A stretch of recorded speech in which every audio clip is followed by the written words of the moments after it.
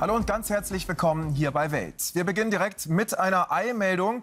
Die 2G-Regel im niedersächsischen Einzelhandel ist außer Vollzug gesetzt. Das hat das zuständige Oberverwaltungsgericht entschieden. Sobald es weitere Einzelheiten gibt, erfahren Sie die natürlich hier bei uns bei Welt.